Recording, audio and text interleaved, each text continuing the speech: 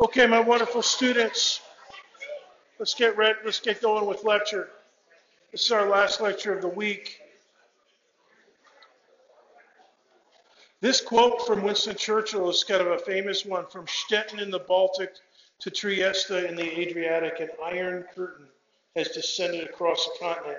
He said that in in the late 1940s, and that's where the term iron curtain comes from, which we refer to as the you know, the boundary of the Soviet Empire and stuff like that.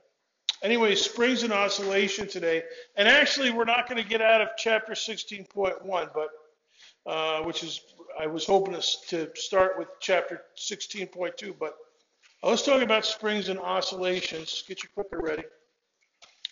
Um, here's a spring system, uh, and we're going to talk about oscillation along the x-axis. So the spring has a the, the spring system has a mass and a spring. Now the spring uh, has what we call a spring constant.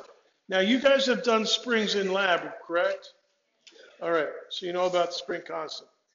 But you're not gonna you're, you're gonna have some deluxe concepts today about springs. Uh, so the spring constant K, that's the stiffness factor. Now, I looked up some, some real springs at a, uh, you know, a website that sells springs.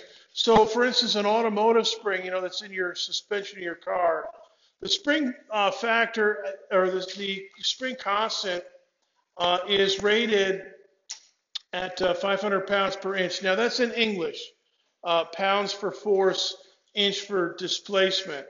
Uh, we're going to be uh, doing a, a, calculation in a few minutes with the K uh, spring constant value in newtons per meter. Uh, but you know the, the other thing on that website it had all kinds of different springs. Now here's a tiny spring, you know something like you might find in a watch or maybe in a cell phone, uh, something really small that's not going to move an inch. Uh, but if it did, it would have a 20 pounds per, per inch displacement. So that rates the stiffness factor uh, of the spring. Now, um, the restoring force, the idea of restoring force, uh, is relative to the equilibrium position of the spring. Now, my diagram up here, uh, this top um, diagram of the spring mass system, I'm going to declare that the equilibrium state of the spring mass system. So when it's totally relaxed, you know, you hook it up and you just let it sit there. This is where it likes to sit. It's neither stretched nor compressed. It's just sitting there. Okay. And when it's sitting there um, at position x0, right, so that denotes my, at least for the next few slides, that denotes the equilibrium position on the x-axis. And it could be a negative number or positive number, but anyways, it's an equilibrium position. Um, if you're at that position, the spring exerts no force, neither a pull nor a push. All right. Now, let's do another sketch. And this time we're going to compress it a little bit. So go ahead and compress your uh, spring in there and sketch it in a, mm, just a little bit to the left. All right. And so now if if x is less than x0, in other words, if you're if x1 is to the left there, you know, the center of mass of the mass, center of that block, uh, then the force is to the right. Now you have to have some numbers and some distances in you know centimeters or meters and a spring constant in newtons per meter in order to tell how many newtons. But at least you know no matter what, if you're over there to the left, your force is going to be a positive number. The, you know, so you're going to have, you know, positive 17.3 newtons to the right. Right. And that's what that red arrow denotes. So no matter what else, that's what a restoring force does. Now, um, that's going to be a positive number of newtons, um, and you know, positive denoting rightward. Now go ahead and sketch yourself in uh, with uh, extended. You know, the second one is compressed. All right. Now, I'm not saying it's at maximum compression. I'm not saying anything about it. I'm just saying it's somewhere to the, to the left. Now, the extended one, I'm not saying it's at maximum extension or anything else, but it is to the right somewhere. So X2 is a little bit greater than X0. And just for conversation purposes, it could, you know, X2 could be uh, X, whatever X0 is, plus two centimeters. Right? And if it is, it'll map out somewhere to the right. And guess what happens? The force is back to the left. Now, here's the force. Um, and let me just park it above the block. Right, so there's the force up there. And it's, you know, no matter what size it is, definitely it's going to be the left. Now, we haven't dealt with this, the magnitude of the force, but we're going to do that. But I want you to uh, make a note here. You know, we talked about stability. Remember the pencil that we talked about up on its uh, on its end, and if you tilted it a few degrees to the left, it would want to come swing back to the right. But if you if you if you tilted it a little too far over, it would fall to the left. Okay, and so that's what we got here. Uh, and the spring is always a restoring force. The pencil is not. The pencil, within a, a, a few degrees of left or right, it will restore itself to equilibrium. This one will always do it, unless you break it or something. You know, I guess springs could be broken. Now, the magnitude of the force is proportional to the displacement from equilibrium. All right, so the spring constant is the constant of proportionality, and x is the symbol for your displacement away from equilibrium. Now, it's nice to uh, set your uh, x-axis so that the equilibrium position is at x equals zero. But you don't have to. You know, you, you know, if you're if you have a hanging oscillator, you know, it's more natural to uh, declare the, the top of the oscillator, you know, where you attach the spring to be zero, and then, you know, your equilibrium point is going to be some negative number. And then it's going to oscillate to a less negative and then down to a more negative, and then up to a less negative, down to a more negative. Okay? Now, so that's the magnitude of the force. Now, combining the directionality of part two, the restoring force nature of it, and the magnitude in part three, this is your formula, F equals minus KX. The minus sign encodes the fact that whatever X is, the force is the opposite. So if X is positive, the minus sign means the force is going to be negatory to the left. That's the third one here. Then the middle one, if X is negatory, then the force is going to be positive to the right. So that's the middle case.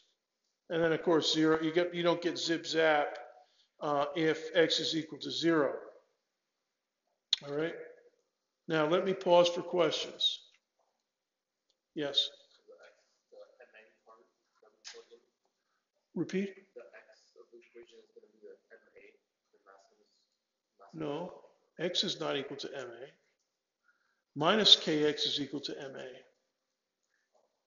Okay, remember when we did that? A couple weeks ago, we, we did centripetal force and gravitation, and we said mv squared over r equals g m1 m2 over r squared. And we got the, you know, then we talked about geosynchronous set. Here's another case, different force, uh, put in F equals ma, and, you know, you know, ma equals minus kx. And whenever you have that, you have an oscillator.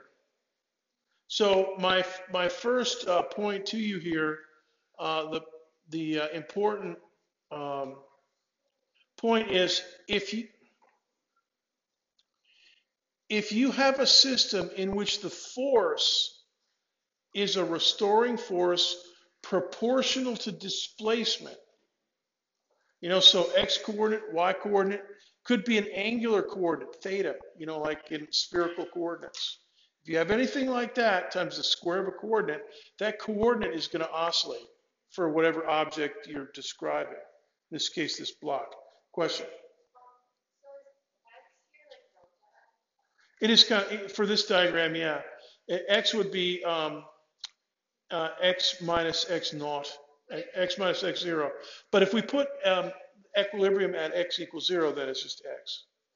Okay, so, so you have to be uh, agile, mentally agile to, to understand that question.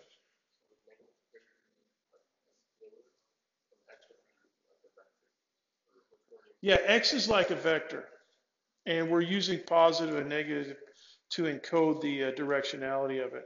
It's one dimensional, so that's fine to use it that way, but yeah, it should be a vector.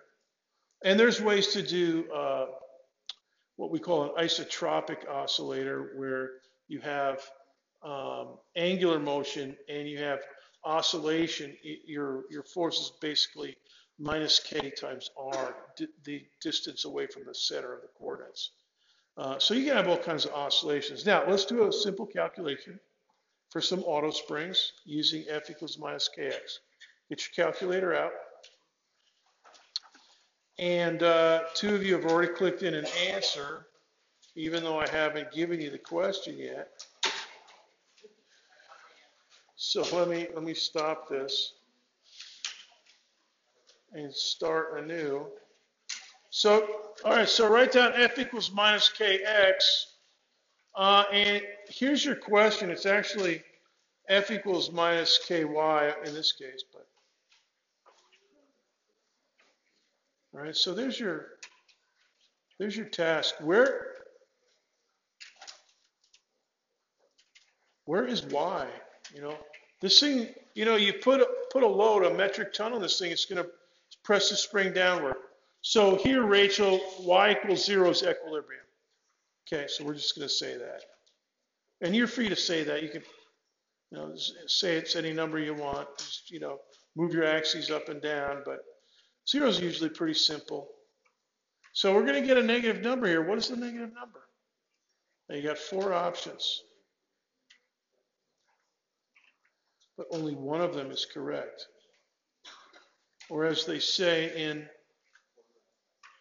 the Highlander, in the end, there can only be one. That's right. I chop that chop up. Yeah, but that Highlander, that's that's science fiction actually. So. Yeah, I wouldn't say that if Sean Connery was in the room, he might chop my head off, but he was the best part of that movie. he was yeah, Spanish guy with a Scottish accent. Yeah.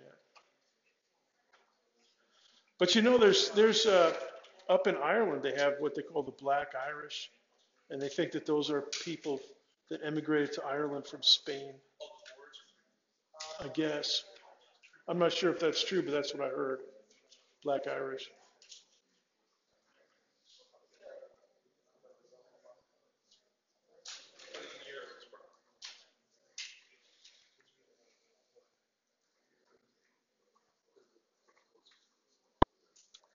Okay, 30 seconds to finish.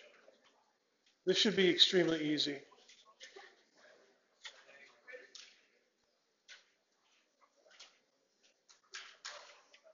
Twenty seconds.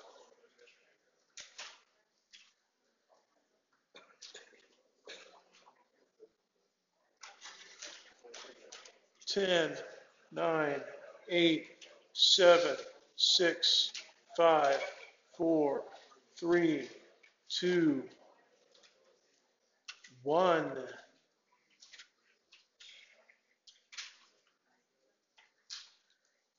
Zero. Okay, I guess you guys are done. Um, yeah, let's check this out. So here's your formula. Here's your net force formula. Okay, and it's equal to zero because the, the springs are going to come to rest, you know, down at, you know, y equals negative 0.0 something. All right, so we, we use the equilibrium equation there, mg equals minus ky. And you got to have your minus signs uh, pro, proper here. Okay, so here's your fill in. Uh, fill in the uh, plugins. Uh, 1,000 kilograms for the mass. And you usually we ignore the mass of the spring. Uh, negative 9.8 meters per second squared for, for G. And then minus ky. So minus k is negative 1.30 times 10 to the 5 newtons per meter. Okay, and so that's a normal size for a car spring. You know, before I had 500 pounds per inch. So this is something normal for uh, a car spring in the metric system. And then my unknown y. Now that's equal to zero. So um, if you uh, push the uh, mg over to the other side, you get 9,800 over there. Then divide uh, both sides by negative 1.30 times 10 to the 5 newtons per meter. You get negative uh, 0.7, 0.0754. All right, so that's B. So the correct answer on that one is B. Raise your hand if you got that. If you if you answered. Okay, good. All right, now.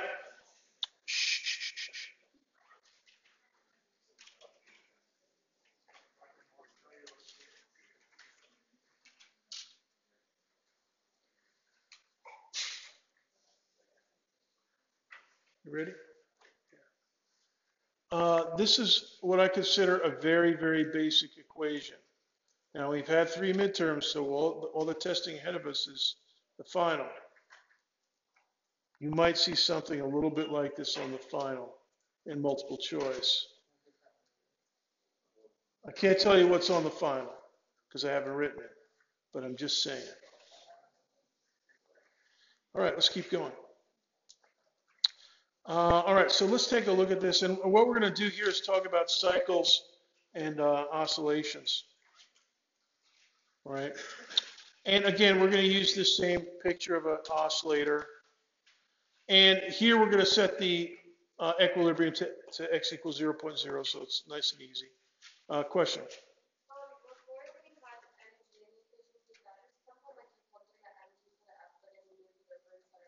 Yeah, that's right.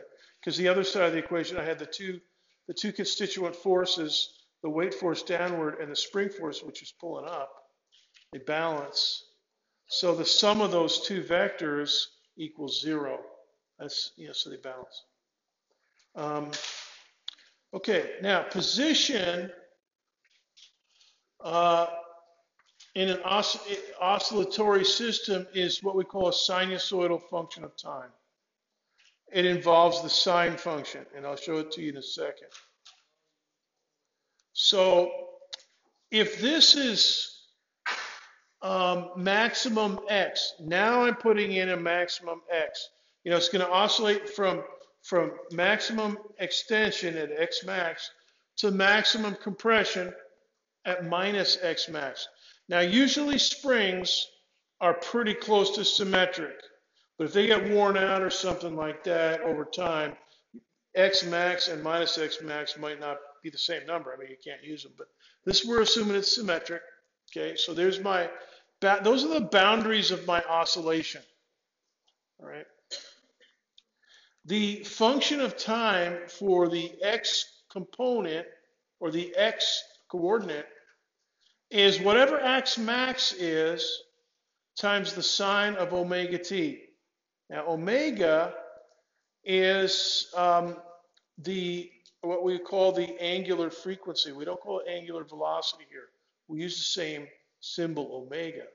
But now it's an angular frequency because frequency times time is equal to a pure number. And a pure number has to be inside the parenthesis uh, of a sine, cosine, or tangent function. Uh, so this one graphs up as a sine curve, which you've seen in trig class. The velocity is the complementary function of time. So that would be the cosine. And what it looks like is this. V of t is V max times cosine of omega t. Right? Same. They vary with the same angular frequency omega. The same time, we would say that's the same time dependence. But notice the constant in front of the cosine is the velocity. So that might be like, you know, 1.3 meters per second, and x max might be, you know, um, uh, 0.72 meters. In other words, 72 centimeters. All right. So whatever they are, those two uh, dimensions are different. These are two. These are apples and oranges. One's the position. One's the velocity. All right. And the, as I mentioned, the angular velocity symbol omega, it, we're now using it for angular frequency. All right. But actually, we still call it angular because all of these these pair of functions can be related to a circle. And we're going to do that in just a minute. Okay, because you know, um, sine and cosine, you know, sine of theta, cosine of theta are the uh, x and y coordinates of a point on a circle. Okay, and so we're going to make that correspondence here in a second. Now, uh, together these things map out, in general, they map out an ellipse. Under certain conditions, they might map out a perfect circle. And, you know, if you change the scale of the x-axis or the momentum axis, you know, you can make any ellipse into a perfect circle. So uh, just calling it an ellipse in phase space is sufficient. Now, uh, that being the case, uh, we're going to uh, also use uh, the momentum as a function of time, which is just m times v of t. So m v max times cosine omega t. All right. So those are the sinusoidal functions of time. And, you know, these are not the only ones um, you could use. Um, this is, uh, let's see, the sine of zero is, uh, what's the sine of zero? Sine of zero is zero. Cosine of zero is one. So this thing starts at zero on the x-axis and V max uh, on the and and and P max uh, on the momentum axis. So it's going to be way up on the momentum axis at time t equals zero. But you, you know, if it starts, if, if you if you pull the spring out to maximum extension out here to the right and start from rest and release it, then V's, V is equal to zero out there and X is equal to X max out there. So you could, and that would be a different, you know, you would use sines and cosines a little differently. Uh, but this is a good typical uh, set of uh, sines and cosines. All right, now let's take a trip back down memory lane to geometry class, or maybe uh, trig uh, and analytic geometry from high school. You may remember um, some of the features of a circle. So if you take a radii and draw it in at some tilt angle theta above the x-axis. Now this is this is graph paper now. This is XY graph paper. We're going to relate it to um, a, a, graph uh, that is abstract that you can't use, you can't visualize it other than your graph. But this is like XY graph paper, okay? And the XY coordinates up here, hopefully this makes sense to you. Um, the X coordinate is r cosine theta. And the y coordinate is r times the sine of theta. You know, so whatever the radius is, capital R, you know, those those will. So if you let theta go from zero to two pi and put a dot for every, you know, every 0.1 radians, you'll have a bunch of dots. You have basically 62 dots uh, around this circle, and it'll map out to a full circle. Okay, so now that's geometry. Right? So my my idea here is um, if theta is equal to omega t, then you could also give it some time dependence. So that means that if this thing is spinning clockwise or counterclockwise, now here's where we get back to this, the, the idea of spin and rotation. If we say that theta is time dependent, omega t, um, that means it's spinning at a constant angular velocity. So this thing's just going, you know, la, la, la, la, la, la, la, la, going around in a circle, happy as a clam, you know, at, you know, angular uh, velocity omega, right? So this this thing is, is what I want you to um, make sure you have that in mind. Now that's looking a little bit like what we had before, right? Now let's go to physics. That's geometry class. This is physics. Here's phase space.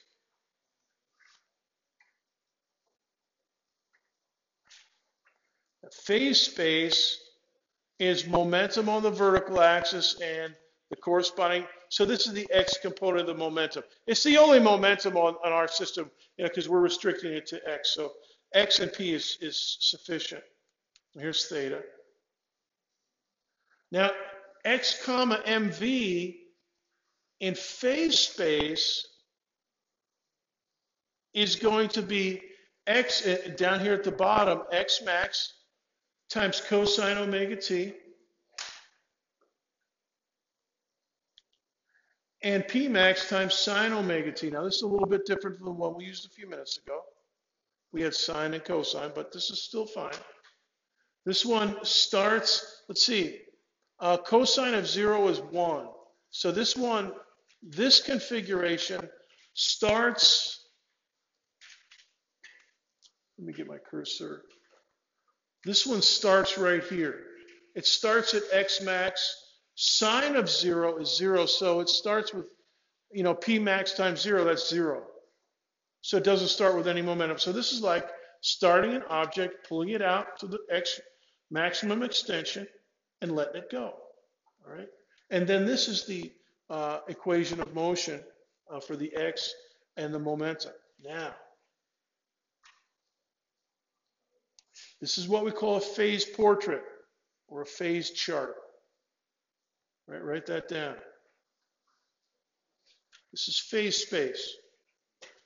I'm, I'm willing to bet that you didn't talk about this in the least up there in the labs, but we're talking about it now. All right, so this is kind of boring. Ellipses, circles, nice, very good. Cosine and cosine of omega t, blah, blah, blah, blah. Now, let me show you another application uh, of phase space. This one is medical.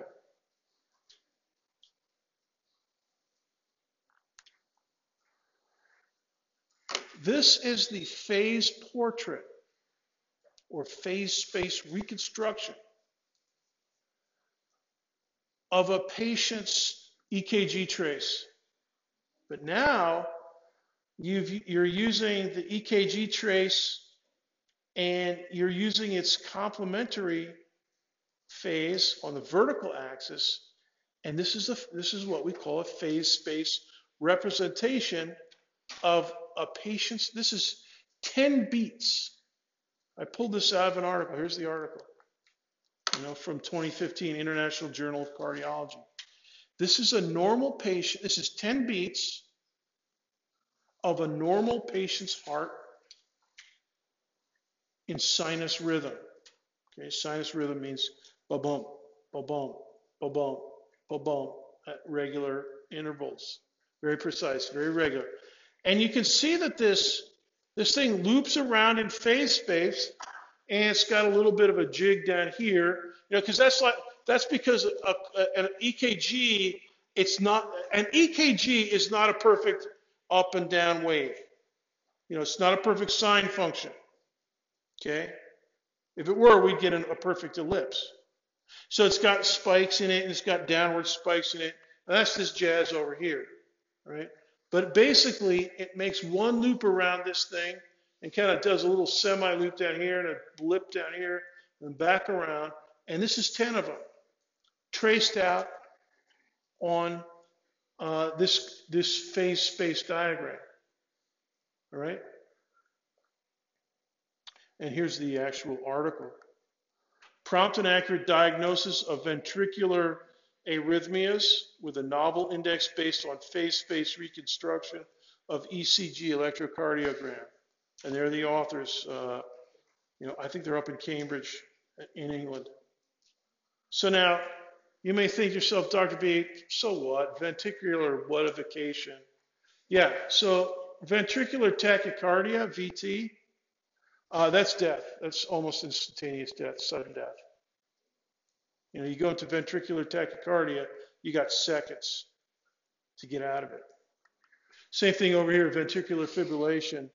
You're in a world of hurt.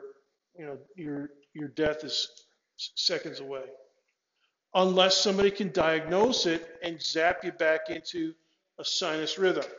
So when they, you know what they do, you know, a case like that, that's like on TV shows, you know, where they're in the hospital and they take the guy's shirt off, and they put a little grease on there, and then they get the paddles, and then you know, and they grease up the paddles, and then they, you know, put the, and then they say clear, and then they pound the guy in the chest with the two paddles, and the guy goes like like that, and all of a sudden he's, you know, he's back to normal, you know. But apparently that hurts like hell when they do it. That's what I've heard. Has anybody ever had that in the ER? I, God bless you. I hope not. But if you if you ever if you ever have to get uh, converted like that by by the Z, it's basically a huge bunch of voltage, not a whole lot of current, but a big voltage. And by the way, shh, okay, everybody's excited about getting zapped. The the this previous slide, let me go back.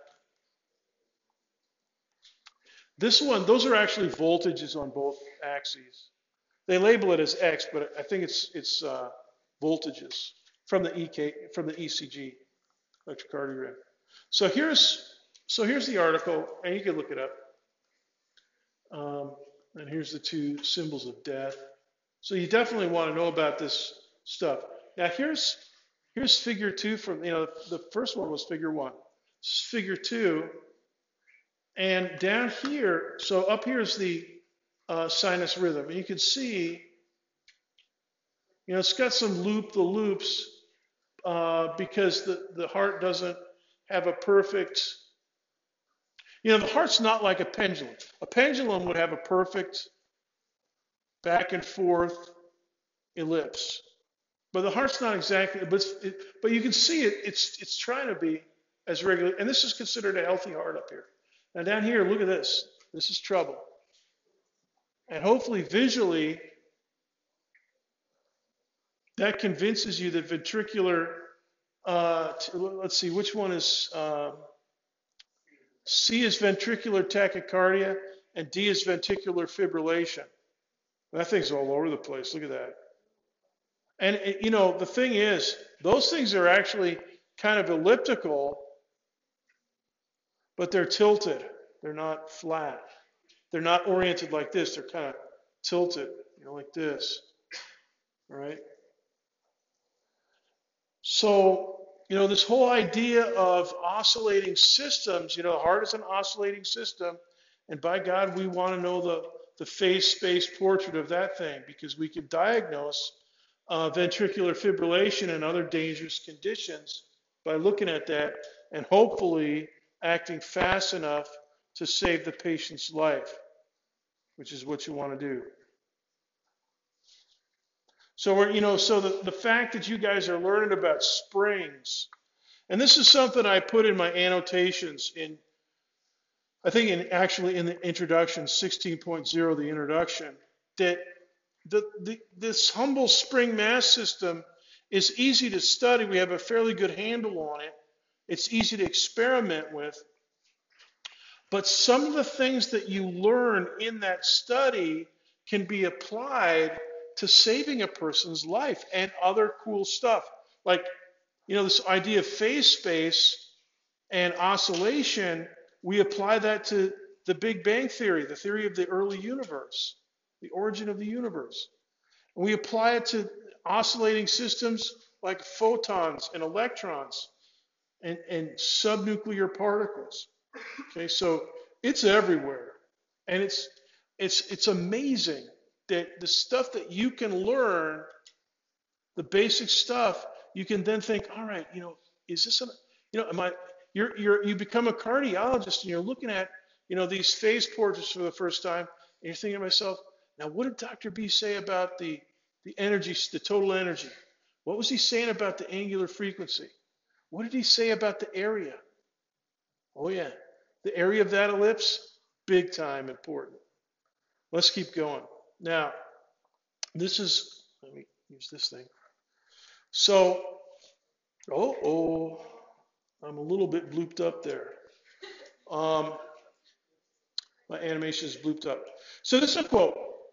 F is the restoring force X is the displacement from equilibrium or def- deformation, and K is the, so deformation is like if you if you have a um, you know if your grandma or your mom that you know make green jello with you know the little fruit cocktail in there and stuff like that, you know, and and you get a big blob of it on a plate, and you you flick the you know you hit the plate a little bit, the whole thing will start to oscillate. All right, so that's deformation, oscillation. Anyway, so deformation of jello. K is the constant related to the difficulty in deforming the system. The minus sign indicates the restoring force is in the direction opposite to the displacement. So that's a nice little blurb from uh, chapter 16.1. Now, let me recall to you this uh, formula, the total mechanical energy. Now, we're not doing gravitational GPE, we're doing elastic spring potential energy. So EPE, elastic potential energy, plus good old KE. The thing's oscillating. You know, that mass has got mass and it's got V, so it's, you know, and the speed is changing. So the kinetic energy is changing, just like when we drop a basketball, you know, speed's increasing all the way down. Now, for an oscillating mass, the speed increases and then maxes out. Then it decreases back to zero, and then it goes the other way. It goes to the left. It goes to maximum velocity to the left. And then it comes to a stop and starts going back to the right, and so and it just keeps cycling. Now, oh boy, this is all right. So here's the um, electrical potential energy, or excuse me, that's what I that's what I usually say EPE. Uh, elastic potential energy. This is the formula for it, 1 half kx squared. Uh, for those of you that have had calculus, you see anything interesting about this? An integral. It's a it's an integral. So minus minus the force times uh, dx. So eh, so this is one half kx squared all right, and it's pretty important. So let's let's keep let's keep zapping through here. So there it is. Now um, let's plug that in to the total mechanical energy formula. All right. And here's what you got then. So you have 1 half kx squared, and then you good old 1 half mv squared. Okay, nothing new about that. We've had that for a while. All right. Now, let me ask you if you noticed anything about that. Look at it carefully. Think like a mathematician. Think like a scientist. Think. Look at that equation.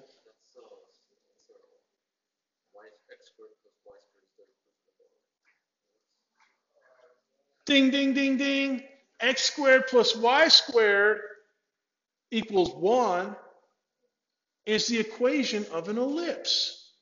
In you know geometry class, XY graph paper. Now this ain't XY graph paper. And what the, the graph that we want to use is phase space. Now this is halfway to phase space because we got the x coordinate in there. All right, now we don't have p in there yet. Can you see? Can you see that there's a there's actually a p in there, a p squared? Yeah, there's one in there because there's a v squared. So all we have to do is to, you know, multiply both sides of the of the one uh, the second term by m over m. Here's what we have. E is equal to x squared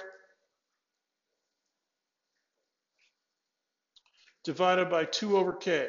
Now there's the so that's putting the 1 half k uh, from out in front, and we're putting it down in the denominator. And then p squared over 2m, that's in the denominator, 2m. Now, here's the interesting thing about this. You know, we've got this, it's almost into the form we need for geometry class. I mean, so this is this is highly righteous right here. This is the thing that we want to think about. All right. Now look at those denominators. The denominator of the first term on the right has got a k in it. It's in the denominator of the denominator. All right. So the strength of the spring is encoded there. The second term on the right with p squared in the numerator, that's got the mass encoded. Right? It doesn't have any k's in there, but it does have the mass. And oh, by the way, guess what omega is equal to? Omega is equal to a, a ratio of K and M. And I'll tell you about that on Monday, or you could read about it. Now let's take a look at. So here's so here's that last formula, and here's phase space. I've got a circle. X of t and p of t. Nice. And you know, in geometry class, here's the here's the way that you map out an ellipse. One, or this is one of the ways. One equals x squared over a squared, and a squared is half the horizontal distance, or half the horizontal size. y plus y squared over b squared, and b is half the vertical size. So here are a and b. Okay, these two blue line segments. Okay, now that's in geometry class. And we, we don't quite have that up here because we have a, a number. This could be 17 joules or something over here. But what we want is a dimensionless number that's equal to 1. So what we do is divide both sides by e. And what do we get? This. Now look.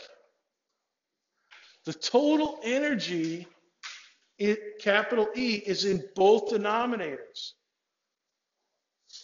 and it's encoded with the spring constant here, in other words, the spring, and it's encoded over here with the, the inertia of the object. So this, and then this is exactly one over here. So, so there's my, there's my correspondence. Now this thing is looking like um, an ellipse, just like we had in geometry class. Now, Here's that. Here it is in big, big letters. Now, my closing comment to you this afternoon is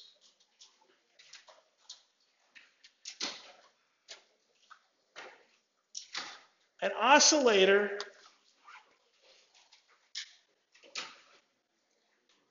equation like this, it's an oscillator equation. This is the width square of the width, this is square of the height.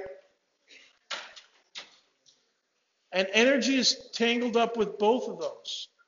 Now, go back to that electrocardiogram phase portrait. How do you conceptualize E? How do you conceptualize the width of this thing? The height, the area. They all have a meaning. And I'll tell you what, for the, for the ECG here, for this phase reconstruction, I don't know what the answers are. But I bet those guys do that wrote that article. All right? So think about that over the weekend. I'll see you on Monday.